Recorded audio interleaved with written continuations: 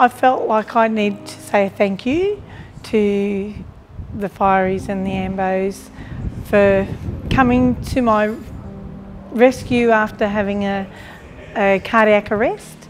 Um, my husband had called triple zero and the Fireys and then the Ambos turned up and took over as to start um, giving me resuscitation, defibrillation to get me back with a heartbeat because there was no heartbeat and um, then they put me in induced coma and sent me on my way to hospital.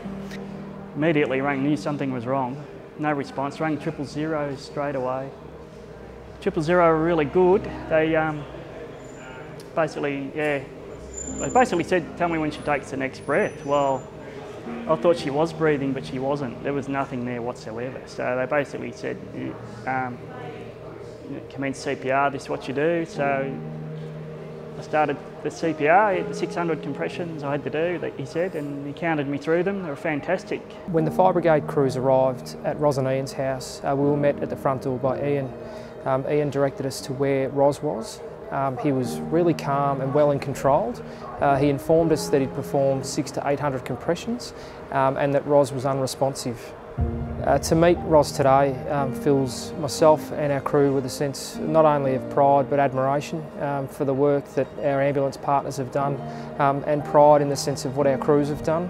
And uh, to see such a positive result and meet Ros uh, reaffirms not only the benefit of the program to uh, the end user, in this case Ros, but how important a, a role the service in CFA and, and, AV play in the EMR field. It's fantastic. On the day that Ros had a cardiac arrest, she was responded to by the uh, EMR response, which is a co-responder program.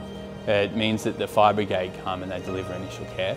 This is really fantastic because it allows uh, for early intervention, which basically improves the outcomes for all Victorians and in this case Ros has shown that.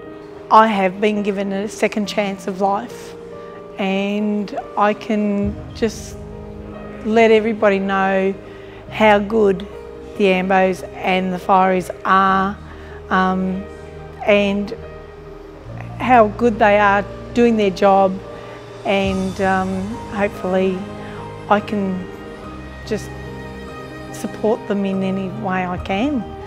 Um, yes, I'm indebted to them. It's been wonderful.